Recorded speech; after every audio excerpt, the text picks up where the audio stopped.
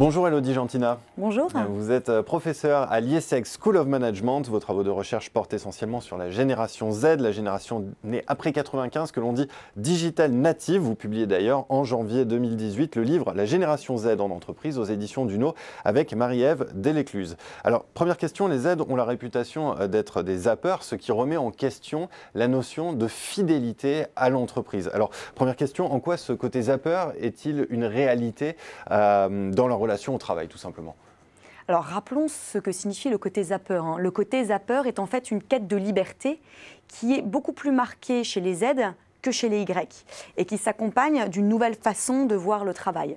La nouvelle génération ne vit pas pour travailler, mais travaille pour vivre et choisit elle-même ses modalités et ses normes. En fait, ce n'est pas la fin du travail, c'est la, naissance d'un nouveau euh, rapport au travail. Alors que la génération Y considère qu'elle n'est pas assez heureuse et qu'elle doit travailler pour devenir heureuse, la génération Z, quant à elle, a pleinement intégré que le bonheur, c'est le point de départ et non le point d'arrivée. Les Z se posent la question, bah dans quoi je vais investir mon bonheur? Dans l'entreprise, par exemple. L'entreprise devient pour eux un véritable lieu de vie, dans laquelle les aides vont construire un rapport affectif. Alors justement, quels sont les éléments qui euh, construisent, qui permettent de construire ce rapport affectif? Autrement dit, qu'est-ce que les aides veulent? Qu'est-ce qu'ils attendent de l'entreprise? Alors les aides mettent tout sur la table. Accomplissement de soi, quête de sens, euh, besoin de grandir au travers euh, différentes missions à court terme. Ils sont dans l'attente de missions ponctuelles. Ils sont dans l'attente de nouveaux défis et ils détestent la routine. Hmm. Il faut les challenger en permanence pour ne pas qu'ils s'ennuient. Et si l'entreprise d'aujourd'hui n'est pas capable de leur offrir cela, ils claquent la porte. C'est d'ailleurs ce que j'ai remarqué hein, lors des entretiens et des sondages à grande échelle que euh, j'ai pu mener. Les aides n'entrent pas dans une entreprise pour gagner leur vie, mais ils entreront dans une entreprise pour réussir pleinement leur vie. Mm. Les résultats euh, de l'étude que j'ai menée avec Marie-Ève Delécluse sur la perception des aides de l'entreprise auprès des 2300 jeunes âgés de 15 à, à 22 ans montrent que 64% des jeunes ont pour ambition à 10 ans d'avoir une vie équilibrée, vie pro, vie perso avant même d'avoir leur propre entreprise, d'être au top de leur entreprise ou d'être leur propre patron.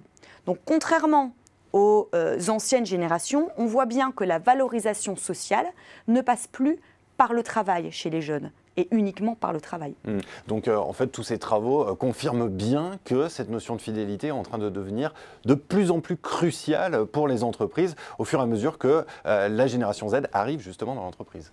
C'est exact. le rapport à la fidélité s'est profondément modifié au fur et à mesure hein, de l'arrivée des différentes générations et notamment la génération émergente les aide.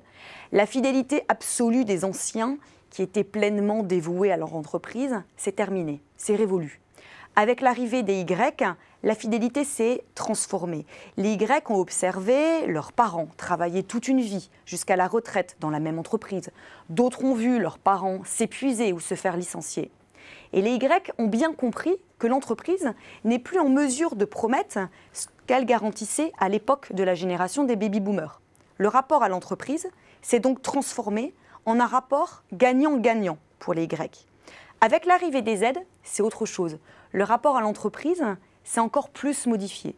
On est sur un rapport non rationnel, mais sur un rapport affectif je dirais, un rapport similaire à une vie de colloque, puisque les jeunes aujourd'hui ont du mal à s'engager durablement. Ils ne se projettent pas à plus de 2-3 ans, ils souhaitent vivre une aventure ou plusieurs aventures dans leur job. Alors dernière question, euh, Elodie Gentina.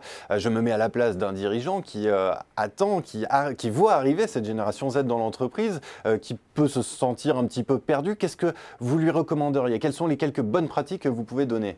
Alors, il n'y a pas de recette toute faite, bien évidemment, mais il y a quelques éléments quand même à avoir en tête.